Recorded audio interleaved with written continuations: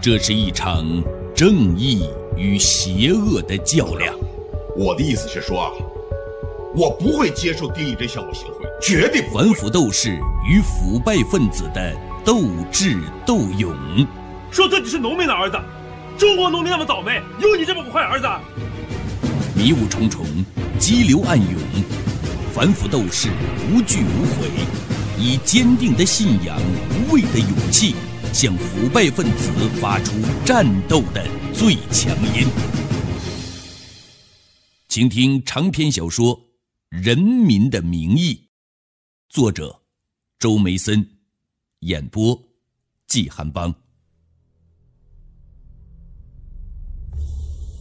下岗安置费问题又扯出蔡成功一段赖皮行径。蔡成功还不起五千万过桥款和衍生的高额利息，大蜂场股权应该依法过户到山水集团。这时候，他的合伙人丁义珍又来找高小琴了，说蔡成功太困难了，负债累累，安置费得山水集团出。高小琴指着陆亦可的沙发说：“丁义珍就坐在这儿说的，他是光明湖项目总指挥，他的话我敢不听吗？我就和蔡成功谈判，签了个补充合同，又出了三千五百万的安置费，这才把产权过了户。”陆亦可就问：“那这笔钱，蔡成功用到哪儿去了？”高小琴在空中画了一个圈儿。当天就被民生银行划走了。蔡成功让我们划款时，并不知道自己的基本账户被法院查封了。陆亦可说：“可蔡成功说，大银行都不贷款给他呀。”高小琴说：“这人嘴里哪有实话呀？荆州哪家银行他也没少骗贷。据我所知。”现在他欠民生、招商还有工农交建四大行的贷款，不下五六个亿。他和丁义珍，这是做局坑我们山水集团呐！在审讯室里，欧阳菁一发的理直气壮。幸亏我们当时果断终止了贷款，否则我们荆州城市银行麻烦就大了。前几天。我特意从银行征信系统查了一下，蔡成功和他旗下的企业逾期贷款，本息已经达到五亿六千多万，加上社会上没法偿还的高利贷的本息，接近十个亿了。希望你们查查蔡成功的举报动机，这个奸商干嘛突然举报我？他是想通过你们新来的反贪局长做局，把他自己保护起来。他现在。在外边很不安全，放高利贷的一直追杀他，他已经被人家绑架过一次了，关在狗笼子里三天三夜，差点没疯了。高小琴也说到了蔡成功和狗笼子，说是狗笼子里的日子太难熬了，比受刑还痛苦。狗笼子高度和宽度都不过半米，长不过一米。蔡成功被关在里边，既不能坐，又不能躺，就算是坚贞不屈的地下党员，只怕也熬不过二十四小时。而蔡成功竟然挺过了三天三夜。侯亮平相信欧阳菁和高小琴说的是实话，现在他已经能用全新的角度审视蔡成功了。这个发小。竟然是所有事件的祸根。欧阳菁满腹怨气，实话实说，高小琴的话也有根有据，尤其是高小琴，竟然如此清白，简直成了一朵出污泥而不染的莲花。在这之前的办案思路全都错了，让蔡成功带进死胡同去了。侯亮平也不知道该抽发小的嘴巴，还是该抽自己的嘴巴。但是，一个理性的声音在他心底响起来了：“且慢。”看守所里，蔡成功开始耍赖，说支持不住了，头上的伤没好利索，市公安局就把他关到看守所。他要求见侯亮平，有事和侯亮平当面说。侯亮平看着屏幕上耍赖的蔡成功，沉着脸，开始了和蔡成功的对话。蔡成功，现在是我在和你说话，你看不到我，但我能看到你。你听着，你满嘴谎言、胡言乱语，已经让我很被动了。我希望你就此打住，实事求是地交代问题。你到底欠了民生银行和其他各大银行多少贷款？还有多少社会上的高利贷？大屏幕上，蔡成功可怜巴巴地说：“侯局长，你既然都知道了，那还问我干啥？我这几年欠的债太多了，这辈子也还不上了。讨债公司的黑社会饶不了我呀，所以我想到你这儿来坐牢。猴子，我我在外边有生命危险呢，你不能见死不救啊！”侦查方向被误导了，明明是蔡成功和丁义珍捅下的大窟窿，蔡成功却把自己装扮成了受害者。侯亮平现在回忆起来才知道，在北京家里，蔡成功举报丁义珍和现在举报欧阳菁，都是有目的的。丁义珍是副市长，欧阳菁是李达康老婆。蔡成功就是要引起注目，逼他和反贪局行动。发小负债太多，太恐惧了，想让他给自己在监狱安排度假。真相初步查明了，对蔡成功报捕保护已经没有必要。审讯结束时，侯亮平主动提出，既然事情是这样，蔡成功一案。还是交给市公安局侦办。季长明赞同说：“好，我今天就安排批捕。本来赵东来也在催。”这时，侯亮平的心里很难受，希望领导批评几句，但是没有，领导反倒提出晚上请他吃烧烤。侯亮平谢绝了，他和同志们需要好好的反思。分手的时候，侯亮平郁郁地说：“季姐，我这次是不是让你失望了？”季昌明拍了拍他肩头：“失望什么？要看光明嘛。九一六事件的背景真相基本上查清了，欧阳菁受贿五十万的证据也拿到了，还有一个意外收获：银行系统的非公职人员职务犯罪案。”蔡成功难道只贿赂了欧阳菁吗？城市银行其他人贿赂了没有？还有那么多的贷款银行，这个奸商是怎么把五六个亿贷出来的？你们都要好好查，一查到底。侯亮平有些冲动，握住这位兄长般的领导的手，狠命的摇了摇。傍晚时分，侯亮平独自来到操场，检查大楼后面这块空地是干警们活动的好地方。几个小伙子在打篮球，侯亮平悠双杠，这是他最喜欢的运动方式。和祁同伟一样，他也很重视健美训练。脱了外衣，轻轻一跃，侯亮平就撑着双杠游荡起来。在心情烦闷的时候，他会加大运动量，像宣泄，像自虐，直至筋疲力尽。侯亮平深深的陷入一种挫败感。没想到蔡成功让他在这一回合输得这么惨，所有的线索突然间断了。这混账的菜包子成了对手的一堵挡风墙。让他预想推演的全都落空了。强大而狡猾的对手忽然隐遁，不留下任何踪迹。下一步怎么办？怎么办呢？球场上打篮球的小伙子都停住手，目瞪口呆地看着侯亮平，这位新来的反贪局长像钟摆一样，似乎要在双杠上永远的摆动下去。荆州的夜晚比白天热闹，商店霓虹灯耀眼，行人摩肩接踵，街上车水马龙。要过中秋节了，人们是格外的忙碌，采购送礼，人情往来。平凡的生活忽然掀起了一个小小的高潮。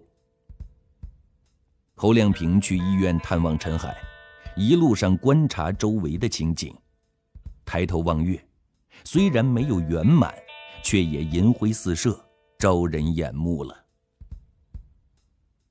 陈海已经转入普通单人病房，侯亮平在病床前看着陈海，像以往一样。在心里默默地向昏迷中的兄弟倾诉着心声。陈海呀，我今天倒霉透了，三堂会审，竟然审出了一个清白的阿庆嫂和一个十恶不赦的蔡成功，跌破眼镜啊！事实证明，蔡成功不是好东西。可他再不是东西，也没能耐安排丁义珍出逃加拿大呀。丁义珍出逃的获益者是谁？阿庆嫂是潜在的获益者，可是呢，他却清白的让我难以置信。我让老纪失望了。老纪不错，没趁机拔我猴毛修理我，还要请我吃烧烤呢。可我好意思去吃啊？不惭愧吗？会审之前，我还和老纪说要突破了，结果闹了这么一出。我恨不得抽自己俩嘴巴。病房的门半开着，门外好像有人影晃动。侯亮平和陈海进行着心灵的对话，并没注意到这一细节。两只轰轰乱飞的苍蝇时不时的落到陈海的头上、脸上，搅乱了侯亮平的心绪。侯亮平起身四处看了看。想找苍蝇拍，没找到，就挥手去赶苍蝇。不料，就在这时，门外两个大汉闪电似的冲了进来。侯亮平还没反应过来，就猝不及防的被扭出了病房。直到拉拉扯扯来到警车前，侯亮平才恍然大悟：“你们是警察。”其中一个大汉把侯亮平推上了警车，少啰嗦，上车。警车飞驶，路边的灯火向后飞掠着。侯亮平被挟持着坐在中间，十分的别扭。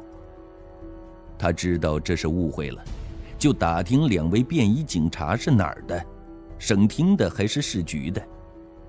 是省厅，他找齐厅长；是市局。他找赵局长，两个大汉不理不睬，侯亮平不得已亮明身份。知道我是谁吗？我是检察院新来的反贪局局长。两个大汉似乎醒悟了，相互探寻的看了看。一个说：“你新局长想搞死老局长是吧？”另一个说。你一进病房，我们就注意你了。就是，你来了就别走了，等机会吧。你鬼头鬼脑的看四处没人，终于下手了，伸出魔爪。侯亮平是哭笑不得。你们说相声是吧？我是找苍蝇拍替陈海赶苍蝇，还魔爪呢。快给你们领导汇报一下。其中一个大汉想了想。汇报了，汇报完，没让侯亮平说话，就把电话挂断了。警车开到一座绿荫掩映的小洋楼前停下了。这个地方侯亮平从没有来过，是郊区的一座别墅，四下静谧，环境不错，秋虫鸣叫格外的响亮，偶有萤火虫飘过，拖曳出一道绿光。好一个世外桃源，只是侯亮平搞不明白，便衣警察把他带到这儿干什么？赵东来笑着迎了出来，给侯亮平解了惑。别紧张，这是九二一办公室，我们市局的一个专案组在这工作。说完，使劲的握着侯亮平的手摇了摇，一副情真意切的样子。侯亮平甩开赵东来的手，我说：“赵局长，你故意出我洋相是吧？”赵东来说：“是你做出了可疑之事吗？我的人见你仕途不轨才动手的。”侯亮平这才问：“你们也一直在保护陈海呀？”“是啊，本来四个人，你们加强警卫以后，我就撤了两个。”今天既然不期而遇了，正好碰一碰情况。九二一办公室是一座小楼，外表漂亮，内部装修简单，底楼有的房间还裸着水泥地。二楼好些，铺了地板，但货色一般，做工粗糙，有的地方踩上去吱吱响。赵东来说。这楼本是抵押给银行的，债主还不上钱，银行又卖不了，闲着也是闲着，就暂时借给市局办案了。进了办公室，两位等在那儿的警官及时站了起来。赵东来指着两位警官向侯亮平介绍：“这一位是九二一案件负责人，刑侦处黄处长。”这一位是经济侦查支队的陈支队长，最近在抓几个非法集资的大案子，其中包括一起蔡成功涉及的非法集资案。侯亮平上前和两位警官握手，赵东来让刑侦处黄处长先介绍一下九二一案件的侦查情况。刑侦处黄处长点了点头，打开卷宗。条理清晰的说了起来。陈海于九月二十一号早上被撞，所以案件就以日期命名了。他们从案件发生的那个早晨起，就不相信这是一场车祸，而怀疑是谋杀。现在已经查实，肇事司机有黑社会背景，四年前酒驾撞死过一个人，被判了两年刑。这次故伎重演。有受人雇佣、蓄谋杀害陈海的嫌疑。此人肇事前喝了不少酒是事实，但此人血液中的酒精分解酶高于常人，有很强的酒精免疫能力。可被拘以后，不论怎么审问，他就咬死一句话：喝多了，其他的一句话不说。这家伙是二进宫，老戏码重演，有经验。他显然知道，酒驾肇事也就是三年以下的刑，蓄谋杀人那可是死刑。侯亮平问：“那么，究竟是谁雇了这个酒驾杀手呢？”赵东来说：“这正是我们要追查的。”于是，我们就注意到了蔡成功。赵东来打开咖啡机。慢条斯理地煮起了咖啡，又用挖苦的口吻说：“自从我们盯上蔡成功，你的影子就伴随着蔡成功，保护着蔡成功，就怕你发小落到我们手上受委屈。这我没冤枉你吧？”侯亮平说：“这很正常啊，蔡成功是欧阳菁受贿的举报人呐。”赵东来指出。而欧阳菁又是李达康的夫人，直说了吧，你们怀疑李达康会通过我们对蔡成功杀人灭口，对不对？侯亮平只能用笑来掩饰着窘迫。好了好了，赵局长，你就别编故事了。话既然说到这儿，我也要问了，你们逼着蔡成功。反复念一个举报电话，又是怎么回事？蔡成功认为你们是要诬陷他，这也让我和同志们很不理解。赵东来说：“这个呀，正是我今天要和你说的。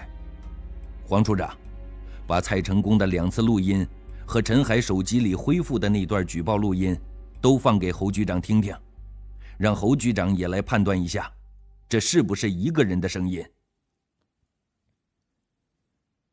刑侦处黄处长答应着，立刻启动了仪器，开始放录音。